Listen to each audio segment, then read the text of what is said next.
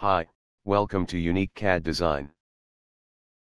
In this video we will discuss about what is ribbon and how to customize the ribbon. The ribbon organizes tools into logical groups. The ribbon provides a compact palette of all of the tools, necessary to create or modify drawings. It is docked horizontally at the top of the drawing area. First one. Ribbon tabs and panels. The ribbon is composed of a series of tabs. The tabs are organized into panels.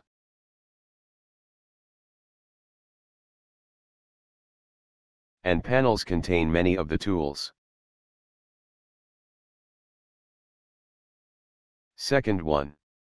Floating panels. You can pull a panel out of ribbon tab into the drawing area. The floating panel remains open until you return it to the ribbon. Third one. Slide out panels. Click the arrow in the middle of a panel title, the panel will expand to display additional tools. To keep a panel expanded, click the push pin, in the bottom left corner of the slide out panel. By default, slide out panels automatically close when you click another panel. Fourth one. Contextual ribbon tabs. When you select a certain commands, a contextual ribbon tab is displayed instead of a toolbar. The contextual tab closes when you end the command. Right-click on the ribbon. From the Show tabs. Uncheck the unused tabs.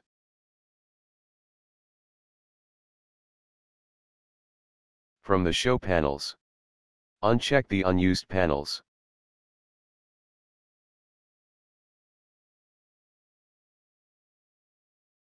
By this we can find most usable tools on the ribbon. If you not required the ribbon. By this small arrow we can hide the ribbon. Like this also we can hide the ribbon. Thank you for watching. Subscribe my channel for more useful tips on AutoCAD.